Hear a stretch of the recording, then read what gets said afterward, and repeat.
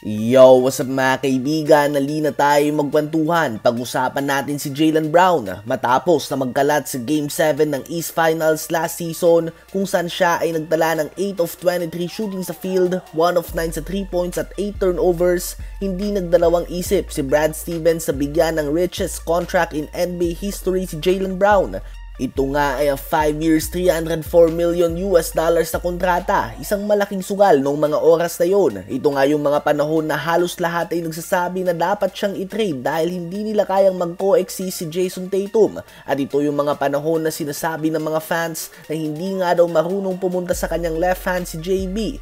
Subalit hindi nga nakinig si Brad Stevens dito at nagtiwala lang siya sa work ethic ni Jalen Brown at mukhang naging maganda nga ang resulta ng sugal na ginawa niya. Kung ang iba nga ay nagiging kampante na tuwing nakakatanggap ng malaking kontrata, maiba nga si Jalen Brown dahil buong off-season ay nag-ensayo siya at nagpakondisyon at ngayong playoffs ay siya nga ang nag-uwi ng Larry Bird Eastern Conference Finals MVP at Bill Russell Finals MVP. Kapag pinag-uusapan nga ang mga best shooting guards sa NBA ngayon ay lalabas dyan ang pangalan nila Devin Booker, Anthony Edwards, Donovan Mitchell, Kyrie Irving, Shai Alexander, Paul George, Zach Lavine o kung sino pa man. Madalas nga dyan makalimutan ng mga fans si Jalen Brown. Well, posibleng mas mga gifted offensive players sa mga nabanggit natin na pangalan. Ganun pa man, we can easily make an argument na si Jalen Brown ang pinakamagaling na defender sa kanilang lahat.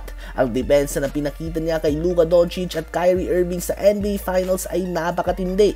At posibleng ito nga ang pinakadahilan kung bakit niya nauwi ang NBA Finals MVP kahit na mas maganda ang stats si Jason Tatum. Si Jalen Brown nga mga kaibigan ay pwede natin makonsider bilang mga late bloomer na tulad nila Kobe Bryant. Don't get me wrong, ibang level nga si Kobe subalit ang pinag-uusapan natin dito ay ang development nila from being a bench player to a star player. Early in his career, si Jalen Brown ay considered as a bust. Si Tatum nga ay nasa starting 5 na habang si Jalen Brown na mas nauna pang na-draft sa kanya ay nasa bench pa din.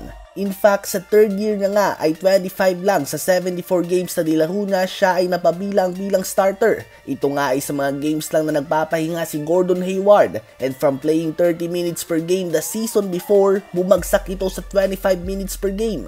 Ngunit after this slight setback, tuloy-tuloy na nga ang pag-angat ng kanyang performance. Patunay na lamang ng kanyang work ethic tuwing off-season at kung doon nga ay si Ben Simmons lang palagi ang pinag-uusapan sa kanilang draft class, ngayon nga ay mukhang si Jalen Brown na ang pinakamagaling dito at nakabuntot naman sa kanya si Brandon Ingram at si Ben Simmons nga ang nagmumukhang bust ngayon. Bagay nga dito yung mga motivational speech na maging focus ka lamang sa sarili mo. Huwag mong isipin kung mas naunang umangat yung iba. Iba't iba nga ang daan ng buhay. Balang araw ay darating din ang oras mo as long as you put in the work that is needed to succeed. Ano ba masasabi nyo tungkol dito?